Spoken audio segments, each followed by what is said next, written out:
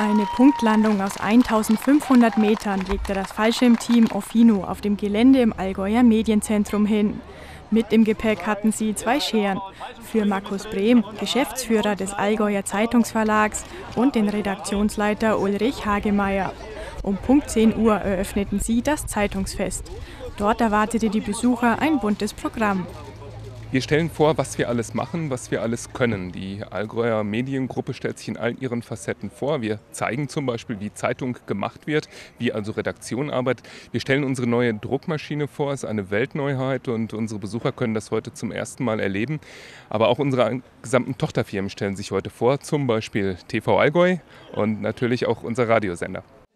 Eine der Hauptattraktionen war der Betriebsrundgang durch die Allgäuer Zeitung. Die Besucher konnten zuerst erfahren, wie die Zeitung in der Redaktion entsteht und dann beobachten, wie die rund 110.000 Exemplare der Heimatzeitung täglich produziert werden. Ein Höhepunkt war eine Weltneuheit im Zeitungsdruck, die Druckmaschine Colorman E-Line. Zudem war ein Einblick in die Arbeit der Tochterfirmen beim Allgäuer Zeitungsverlag möglich.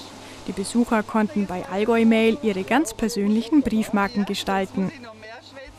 Gefeiert wurde nicht nur auf dem Gelände des Allgäuer Medienzentrums.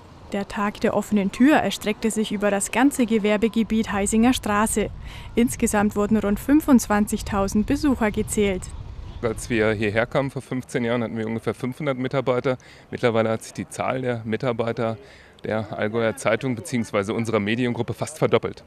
Die Allgäuer Zeitung war der erste, der hier draußen ein Grundstück gekauft hat und danach hat es tatsächlich einen Sog gegeben. Mittlerweile sind sehr viele Unternehmen hier im Gewerbegebiet ansässig, sind sehr viele Arbeitsplätze entstanden und es ist eine großartige Entwicklung für dieses Areal. Auch bei dem großen Rahmenprogramm war für jeden was geboten. Bei der Polizei konnte ein Auto bemalt werden. Wer wollte, konnte sogar in einem echten Hubschrauber mit dem Flugsimulator durchstarten. Ja, was ich bis jetzt gesehen habe, hat mir schon gefallen. Also ist einiges geboten. Was hat Ihnen besonders gefallen? Ja, jetzt waren wir bei der Polizei. Der Kleine hat einen Polizeihubschrauber angeschaut. Schauen wir, was es sonst zu bieten gibt. Auf einem riesigen Trampolin demonstrierte der Allgäuer Skiverband das Können der Ski-Freestyler. Mit angeschnallten Skiern üben sie so für den Winter. Ein weiterer Höhepunkt war der Weltrekordversuch der Jugendfeuerwehr. Etwa 200 Jugendliche versuchten gemeinsam den ersten Weltrekord im Löschschlauchflechten aufzustellen. Ja, das sind ein Haufen Teams und die flechten dann halt immer zu dritt äh, so einen Schlauch. Ähm, da müssen, glaube ich, 25 Minimum und nicht über 30 Flechtungen rein, damit ähm, das Wasser halt durchläuft. Über fünf Kilometer Schläuche wurden so verflochten.